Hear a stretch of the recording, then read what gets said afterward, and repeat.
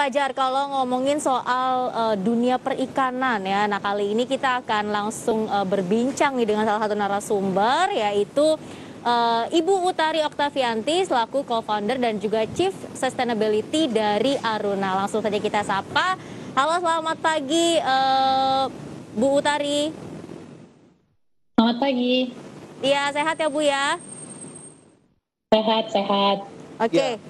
Bu Tari, ini tadi kami sudah sampaikan informasi terkait dengan target konsumsi ikan di Indonesia. Nah ini dari Aruna kan juga memang fokus ke perikanan atau fisheries ya Bu Tari ya. Tapi melihat ya, betul. statement tadi atau informasi tadi, sebetulnya bagaimana sih Aruna melihat tingkat konsumsi ikan dari masyarakat Indonesia sampai dengan sejauh ini?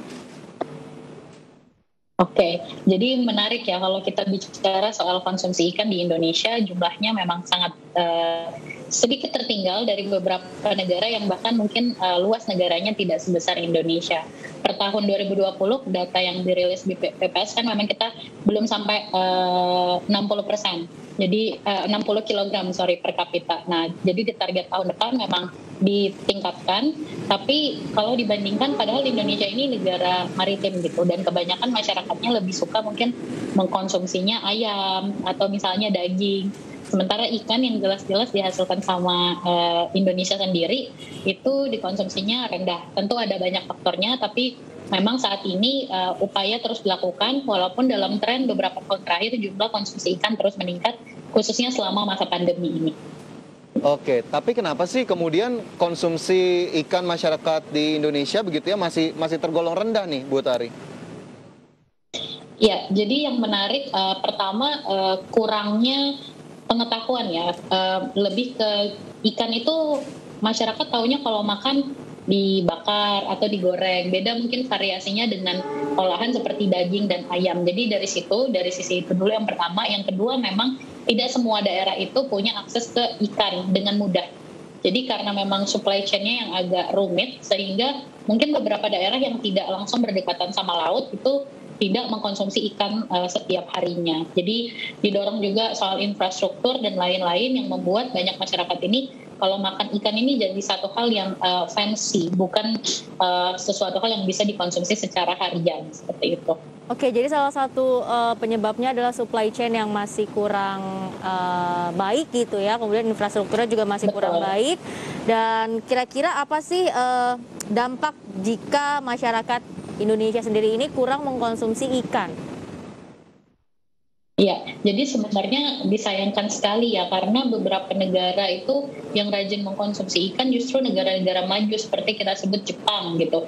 Nah, dalam pelaksanaannya kalau memang uh, masyarakat Indonesia kurang mengkonsumsi ikan, padahal ada beberapa kandungan gizi baik tuh ikan yang bisa membantu kita khususnya di masa-masa pandemi seperti sekarang ya, seperti kandungan omega 3, kemudian juga kandungan omega 3 kan tidak bisa diproduksi oleh diri kita sendiri gitu.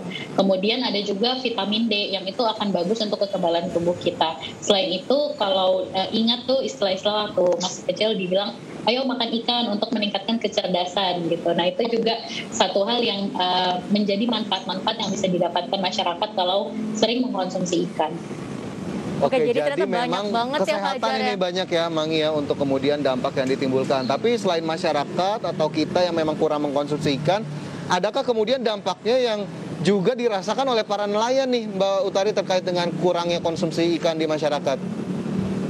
Betul banget. Justru yang paling terdampak adalah kebanyakan nelayan-nelayan di Indonesia. Ini satu fakta yang sebetulnya uh, kurang menyenangkan. Kalau Indonesia ini kan salah satu negara maritim ya. 70% wilayah kita laut, uh, perputaran ekonomi di perikanan itu sangat besar. Tapi itu karena banyak kebanyakan ikan kita itu dikonsumsi di negara lain. Hmm. Nah dampaknya apa? Karena memang harganya ini lebih diminati de, uh, di konsumen luar sehingga tangkapan-tangkapan yang dibutuhkan pun terbatas. Dan ini membuat uh, berdasarkan data BPS 25% daerah kemiskinan itu dikontribusi oleh uh, masyarakat yang hidup di desa pesisir gitu. Dan itu kebanyakan adalah nelayan. Sementara 90% nelayan di Indonesia itu adalah nelayan kecil. Jadi mereka terdampak yang membuat dalam 10 tahun terakhir jumlah nelayan di Indonesia terus berkurang karena tadi pendapatan mereka juga jadi terbatas karena itu akses pasarnya yang terbatas uh, untuk komoditas-komoditas tertentu saja. Gitu. Oke, hmm. kalau masalah supply chain-nya tadi masih sulit, masih kurang baik, apakah ini menimbulkan uh, dampak terhadap harga ikan yang dijual dalam negeri ini akan cukup tinggi? Uh, justru sebaliknya, harga ikan yang ada dijual dikonsumsi di negara kita ini uh, justru kadang jadi tidak ada harganya. Maksudnya hmm. biasanya nelayan-nelayan menangkap ikan, jadi mereka uh, dianggap ikan-ikan yang tidak sesuai dengan standar ekspor ini ikan sisa disebutnya gitu. Dan itu yang membuat uh, apa ya permintaan marketnya pun tidak tidak sesuai. Sementara untuk komoditas yang sama dengan harga ekspor, misalkan let's say kita mau beli lobster gitu, karena di luar negeri sudah dibelinya tinggi, akhirnya di Indonesia kalau dijual juga harus tinggi karena mengikuti pasaran-pasaran di luar negeri. Itu yang membuat sebagian ikan harganya jadi sangat tinggi, tapi sebagian lagi bahkan mungkin tidak uh, tidak dibeli atau tidak ada harganya seperti itu. Oke, jadi memang akhirnya stoknya sebenarnya berlimpah karena memang nelayan hampir setiap hari uh, uh, selalu mencari ikan, tapi serapannya di dalam negeri yang memang belum begitu baik ya, Mbak Utari ya. Betul, betul.